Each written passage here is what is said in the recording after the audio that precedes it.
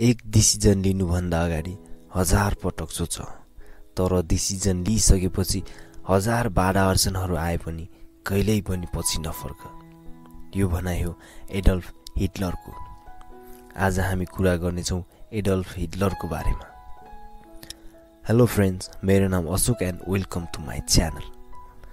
यदि तपाईँले यस्तै खालको युजफुल भिडियोहरू हेरेर नयाँ कुराहरू सिक्न चाहनुहुन्छ भने यो च्यानललाई सब्सक्राइब गरी छेउको बेल आइकनलाई थिच्न नछुटाउनुहोला। एडल्फ हिटलरको जन्म ट्वेन्टी अप्रिल एट्टिन एट्टी नाइनमा अस्ट्रिया हङ्गेरीमा भएको थियो। उनको बुबाको नाम एलोइस हिटलर हो। एलोइसको तेस्रो वाइफ क्लारा पोल्सबाट हिटलरको जन्म भएको थियो। हिटलर तिन वर्षको हुँदा हिटलरको फ्यामिली जर्मनी सिफ्ट भए। उनी भोल्क स्कुलमा भर्ना भए। एट्टिन नाइन्टी फोरमा उनीहरू अस्ट्रिया नै फर्किए। आठ वर्षको उमेरमा उनले चर्चमा गाउन थालेका थिए। उनलाई पुजारी बनाउनेसम्म छलफल भएको थियो। उनको भाइ एडमन्डको नाइन्टिन हन्ड्रेडमा भएको मृत्युले उनलाई एकदमै इफेक्ट पार्यो। उनको कन्फिडेन्ट कम हुँदै गयो। उनी उदास बन्न थाले। उनी बुबा र टिचरहरूसँग लगातार झगडा गर्न थाले। बुबा र छोराबीच शत्रुता बढ्दै गयो। हिटलरको क्लासिकल हाई स्कुलमा भर्ना हुने र आर्टिस्ट बन्ने चाहनालाई उनको बुबाले व्यवस्था गरेर उनलाई सेप्टेम्बर नाइन्टिन हन्ड्रेडमा लिन्जमा रहेको रियल स्कुलमा पठाइदिए। त्यहाँ उनले जानी जानी राम्रो पढाइ गरेनन्। अन्य अस्ट्रियन जर्मनहरू जस्तै उनले पनि जर्मन राष्ट्रवाद सम्बन्धी आइडियाहरू लिन थाले। उनले जर्मनप्रति लोयल्टी देखाउन थाले। थर्ड जनवरी नाइन्टिन थ्रीमा उनको बुबाको अचानक मृत्युपछि उनको स्कुलको पर्फर्मेन्स बिग्रन पुग्यो। त्यसपछि उनी सेप्टेम्बर नाइन्टिन फोरमा इस्तेयरमा रहेको रियल स्कुलमा भर्ना भए जहाँ उनको बिहेभियर र पर्फर्मेन्समा इम्प्रुभ आउन थाल्यो। नाइन्टिन सेभेनमा लिन छोडेर बिहानमा गएर आर्ट पढ्न थाले र एकाडेमी अफ फाइन आर्ट्स बिहानमा एडमिसनको लागि एप्लाई गरे तर रिजेक्ट भए किनकि उनले सेकेन्डरी स्कुल कम्प्लिट गरेका थिएनन्। ट्वेन्टी वान डिसेम्बर नाइन्टिन सेभेनमा उनको आमाको मृत्यु भयो। तब हिटलर अठार वर्षका थिए। उनलाई पैसाको अभाव हुन थाल्यो र छात्रावासमा बस्न थाले। लेबरको काम गरेर पेन्टिङबाट र वाटर कलर सेल गरेर पैसा कमाउन थाले। हिटलर बिहानमा हुँदा आर्किटेक्चर र म्युजिकमा उनको प्यासन झनै बढ्यो।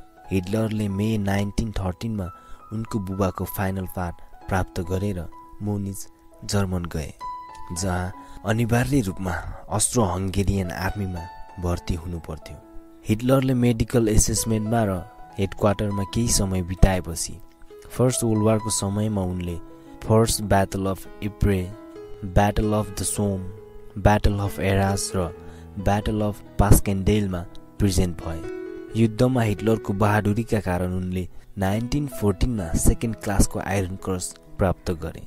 फोर्थ अगस्त नाइन्टिन एट्टिनमा फर्स्ट क्लासको आइरन क्रस प्राप्त गरे। एट्टिन मे नाइन्टिन एट्टिनमा ब्ल्याक उन ब्याज प्राप्त गरे।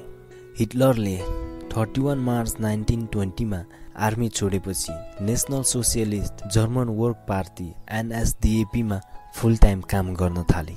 Twenty nine July nineteen twenty वानमा हिटलर पार्टी चेयरम्यान बन्न सफल भए। हिटलरको सैनिकले पुलिस हेडक्वार्टरमा कब्जा गरेपछि हिटलरलाई अप्रिल नाइन्टिन ट्वेन्टी थ्रीमा पाँच वर्षको लागि ल्यान्सबर्ग जेलमा कैद गरियो तर बेबेरियन सुप्रिम कोर्टले डिसेम्बर नाइन्टिन ट्वेन्टी फोरमा रिलिज गरिदियो। सेभेन अप्रिल नाइन्टिन ट्वेन्टी फाइभमा हिटलरले अस्ट्रियन सिटिजनसिप फर्मल्ली रिनाउन्स गरे। सात वर्षपछि हिटलरले जर्मन सिटिजनसिप प्राप्त गरे। फोर्टिन जुलाई नाइन्टिन थर्टी थ्रीमा एनएसडिएपीले जर्मनमा एउटा मात्र लिगल पोलिटिकल पार्टी घोषणा गरिदियो। त्यसपछि हिटलर स्टेटको साथै गभर्मेन्टको पनि हेड बने। स्टेटको हेड पछि हिटलर आर्मी फोर्सको कमान्डर अफ चिफ पनि बने। नाइन्टिन थर्टी सिक्समा भएको ओलम्पिकमा जर्मनले होस्ट गरेको थियो। जर्मनले जापान ब्रिटेन चाइना इटाली र पोल्यान्डसँग एन्टी कमिन्टन पेक्ट साइन गर्यो। हिटलरले नाइन्टिन थर्टी एटभन्दा अगाडि र नाइन्टिन फोर्टी थ्रीभन्दा पछाडि युद्ध नगर्ने भनेर युद्धको तयारी गर्न थाले। फेब्रुअरी नाइन्टिन थर्टी एटमा फरेन मिनिस्टरको लागि प्रो जापानिज जोयाकिम बोन रिभेन ट्रोपलाई नियुक्त गरे र हिटलरले सिनो जर्मन अलायन्ससँगको सम्बन्ध इन्ड गरे। अप्रिलमा हिटलरले चेकोस्लोभाकिया विरुद्ध युद्धको लागि अर्डर दिए। टाइम म्यागजिनमा हिटलर नाइन्टिन थर्टी एटको म्यान अफ द इयर बन्न सफल भए। फर्स्ट सेप्टेम्बर नाइन्टिन थर्टी नाइनमा जर्मनीले वेस्टर्न पोल्यान्डमाथि आक्रमण गर्यो। जसको जवाफ ब्रिटेन र पोल्यान्डले जर्मनसँग युद्ध घोषणा गरिदियो।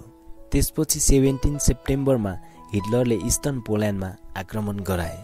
नाइन अप्रिल नाइन्टिन फोर्टीमा जर्मनले डेनमार्क र नर्वेमाथि आक्रमण गर्यो। मे नाइन्टिन फोर्टीमा जर्मनीले फ्रान्समाथि एट्याक गर्यो र लक्जमबर्ग नेदरल्यान्ड र बेल्जियममाथि कब्जा गर्यो। ट्वेन्टी टू जुनमा फ्रान्स र जर्मनी बीच सन्धि भयो। जर्मनको एयरफोर्स फेल भएपछि रोयल एयरफोर्स युद्धमा जर्मन पराजित भयो। नाइन्टिन फोर्टी वानमा German force north Africa Balkans र मिडल इस्टमा फैलियो।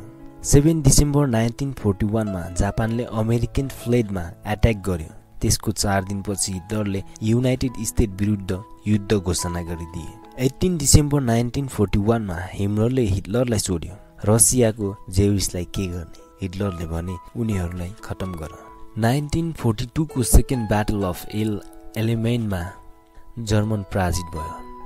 नाइन्टिन फोर्टीको विजयका कारण आफ्नो मिलिट्री ओभर कन्फिडेन्ट भए। जसको कारणले हिटलर आफ्नै हाइकमान्डप्रति डिसट्रस्टफुल भए र इन्टरफेयर गर्न थाले। डिसेम्बर नाइन्टिन फोर्टी टू र जनवरी नाइन्टिन फोर्टी थ्रीको ब्याटल अफ स्टेलिन ग्रेडमा इन्भल्भ नहुँदा दुई लाखभन्दा बढी एक्सिस आर्मीहरू मारिएर दुई लाख पैँतिस हजार आर्मीहरू जेल परे। ट्वेन्टी एट ट्वेन्टी नाइन अप्रिलको मिड नाइटमा हिटलरले इभा ब्राउनसँग विवाह गरे। थर्टी अप्रिल नाइन्टिन फोर्टी फाइभका दिन हिटलरले आफ्नै टाउकोमा गोली हानी सुसाइड गरे। साथीहरू आजको लागि यति नै। यदि तपाईँहरूलाई यो भिडियो मन भने र यस्तै खालको युजफुल भिडियोहरू हेरेर नयाँ कुराहरू सिक्न चाहनुहुन्छ भने यो च्यानललाई सब्सक्राइब गरी छेउको बेल आइकनलाई थिच्न नछुटाउनुहोला